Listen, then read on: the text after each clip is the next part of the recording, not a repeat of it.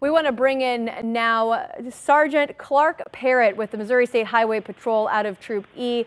And sir, I know you are very busy this morning.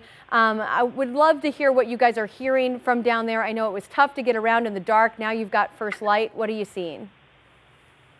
Um, all, all I can say is, oh my gosh. Yeah. Uh, I come from the west on Highway 34, west of Marble Hill, uh, through the grassy Missouri area, and it, it is widespread damage.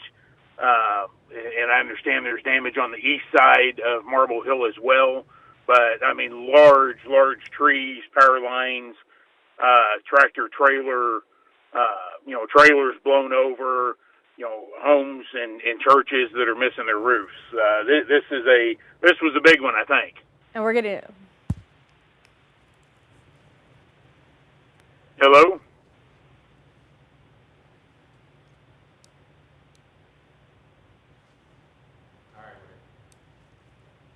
Did I lose you?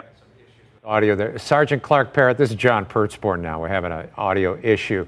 Uh, you, you, said it's pretty widespread. What's, what's your plan of action from right now forward?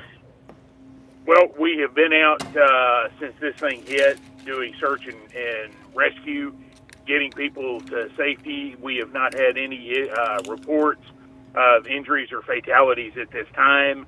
Uh, we're establishing a command post and getting ready to, to head out into the county and, and just offer any of the assistance we need.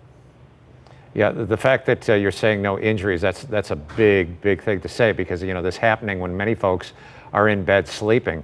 Uh, but, yeah. uh, you know, once, once it hit, they're up. You can see the, the progress they've made clearing the roads right there from trees that uh, were uprooted and, and uh, blocking the roads there. Uh, and yeah, absolutely. And, and uh, yeah, th know, this is the, coming from our storm runner, the video you're seeing there in Bollinger County. And how widespread would you say this is? What are the calls saying on your radio? Well, I've only been on the, the west side of, of Marble Hill area, uh, but from what I'm hearing, they are also on the east side, uh, 34 Highway. So you know, out toward the Scopus area. So this thing is, is within the county is pretty pretty widespread. All right. Well, keep us posted. If, if there's any way we can help here at Fox 2, uh, we will pass will on do, that sir. information. All right. Be safe.